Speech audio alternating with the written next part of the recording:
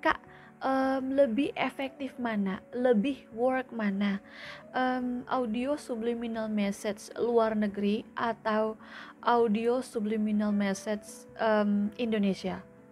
Hai semuanya, thank you bagi kalian yang sudah mau mengklik video ini dan aku ucapkan selamat datang di channel Ira Nonandale bagi kamu yang baru.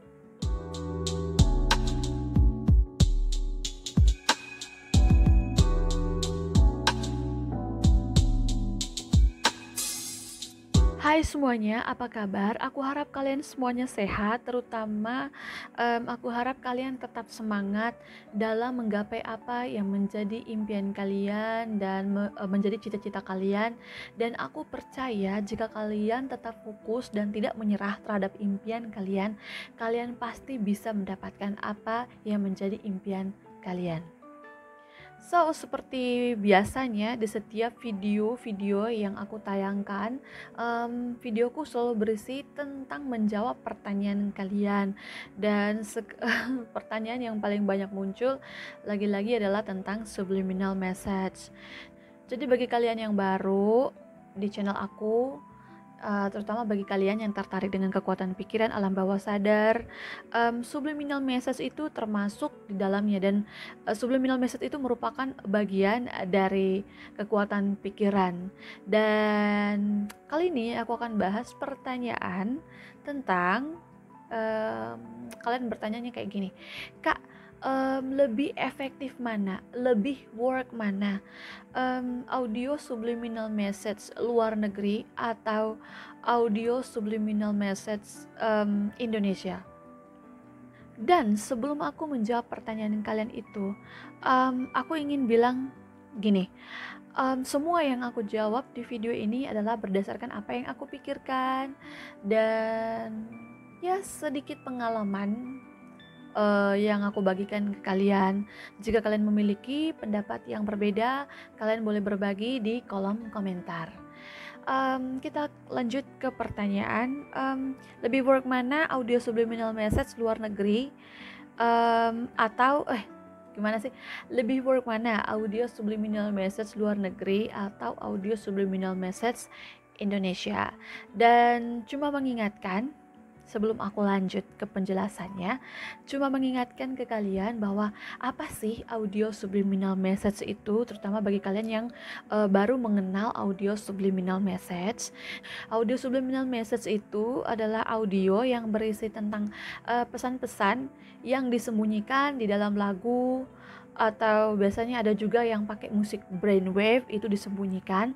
Tujuannya apa? Disembunyikan pesan-pesan afirmasi itu supaya ketika kita mendengarkan um, audio tersebut, pesan-pesan tersebut bisa langsung masuk ke alam bawah sadar kita. Nah, kalau misalkan kita mendengarkan audio afirmasi, biasanya pesan-pesan itu kemungkinan kecil untuk bisa masuk ke alam bawah sadar uh, dikarenakan pikiran kita pikiran sadar kita itu selalu uh, apa ya menolak afirmasi-afirmasi yang menurutnya, menurut pikiran sadar itu kayaknya ini nggak sesuai dengan um, realita kita. Jadi biasanya terutama bagi kita yang punya mental block um, kalau kita mendengarkan audio afirmasi biasanya akan mentalin semua afirmasi-afirmasi sehingga tidak bisa masuk ke alam bawah sadar kita.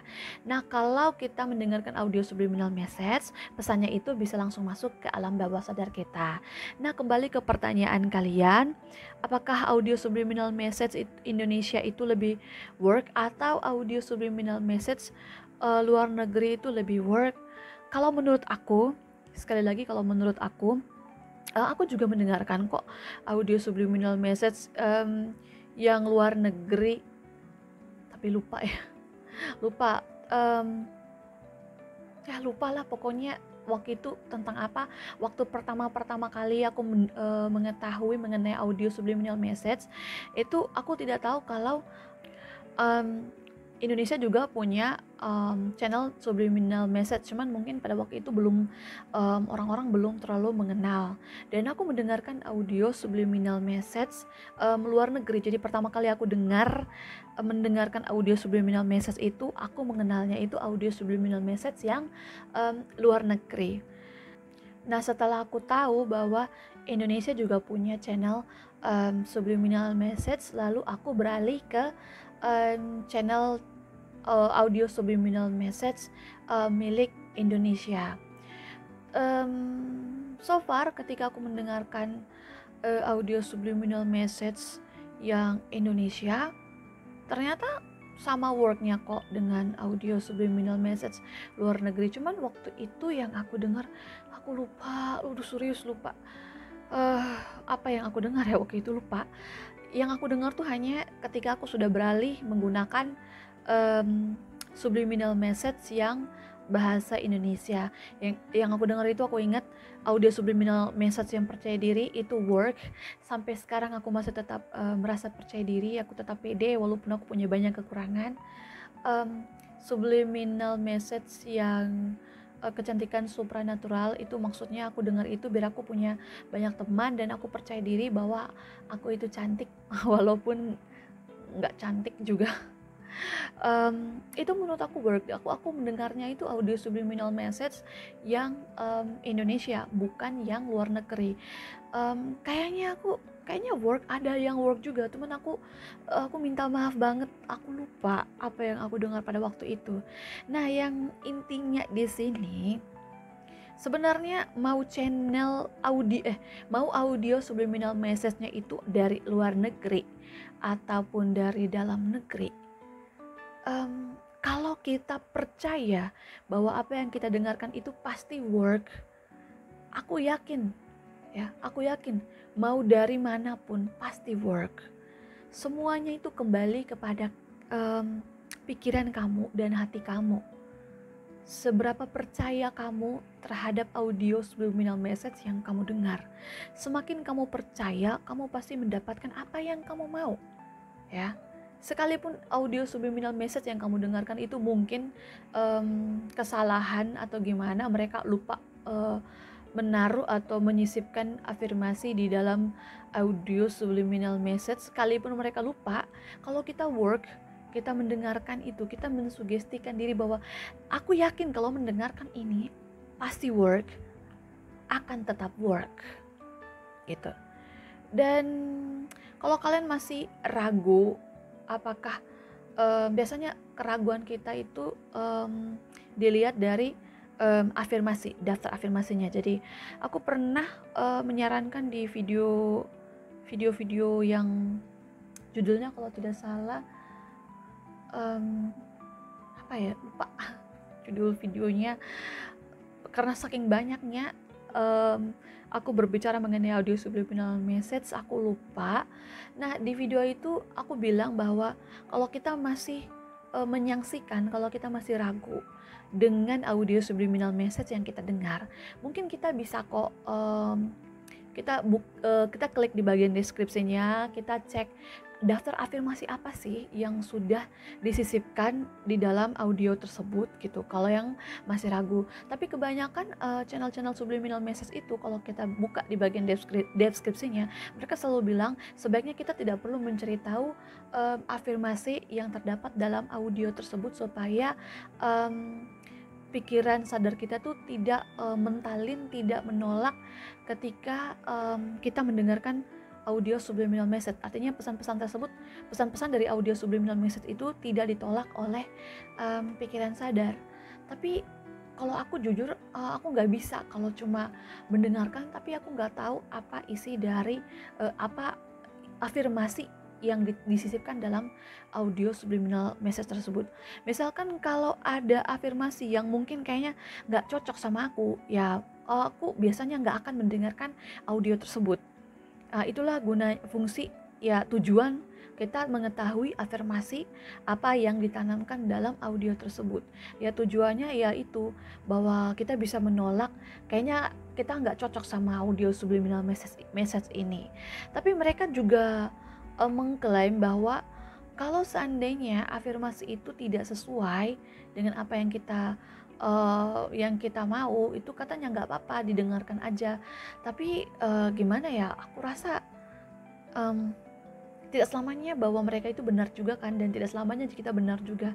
Intinya apa yang kita mau ya lakukanlah gitu. Apa yang kita percaya lakukanlah kalau ada orang yang mungkin mau mendengarkan audio subliminal, subliminal message tanpa melihat afirmasi, ya nggak apa-apa. Tapi bagi kalian yang mungkin merasa ragu dengan takut nih ini isinya jangan-jangan nggak baik gitu, boleh kok kita cek di desk. Aku rasa ya nggak salah juga kok kalau kita menceknya di um, deskripsinya ini isi afirmasinya apa. Uh, lagi pula dengan kita mengecek afirmasi yang kita inginkan gitu dan itu mungkin bisa membuat kita apa ya menjadi satu ukuran bahwa audio subliminal message mana yang lebih efektif bagi kita. Um, audio subliminal message um, yang dari luar negeri atau audio subliminal message yang dari Indonesia. Cuman um, yang aku bisa sarankan tidak selamanya yang dari luar negeri itu selalu lebih baik ya tidak selamanya yang berasal dari luar negeri itu selalu lebih baik dan tidak selamanya juga yang berasal dari Indonesia itu um, selalu yang lebih buruk gitu. Intinya kembali ke kita, bagaimana kita menanggapinya, uh, seberapa percaya kita, seberapa usaha kita, dan satu setiap kali aku um, memberikan saran bagaimana caranya agar audio subliminal message itu bisa lebih cepat work adalah dengan rajin rajin bervisualisasi. Perbanyak visualisasi, perjelas visualisasinya. Mau kamu kayak gimana? Ingat, audio subliminal message itu cuma alat. Semua kembali ke kita. Tetap kita harus visualisasi. Kenapa visualisasi itu penting? Supaya jelas alam semesta itu mau uh, memanifestasikan yang kayak gimana. Alam semesta itu mengikuti kita. Kita kalau visualisasinya kotak ya alam semesta pasti akan mengirimkan kotak. Kalau kita visualisasinya segitiga ya alam semesta pasti ngirimnya segitiga. Kan gitu semua kembali ke visualisasi. Kalau kita nggak visualisasi ya itu percuma. Mau audio subliminal message dibilang ini super power, super efektif bagaimanapun. Kalau kita nggak visualisasi, ya gimana alam semesta mau memanifestasikannya untuk kita. Ya itu dia teman-teman uh, video aku hari ini. Kayaknya aku terlalu banyak ngomong di video ini. Aku minta maaf kalau kalau uh, penjelasan aku kurang uh, muter-muter gitu. ya um, akhir kata aku aku harap kalian bisa mengerti dan kalau kalian suka dengan video ini, kalian boleh like, comment di bawah, um, subscribe channel ini karena channel ini selalu berisi mengenai kekuatan pikiran dan akan selalu menjawab pertanyaan-pertanyaan kalian. Kalau pertanyaannya udah banyak uh, yang kalau di antara kalian yang uh, udah banyak yang minta aku bahas apa aku pasti bahas di video aku. Dan share bagi teman-teman yang tertarik mengenai audio subliminal message. Akhir kata saya Irene Nandale tetap percaya dengan mimpi-mimpimu kalian pasti bisa mendapatkan apa yang kalian impikan. Bye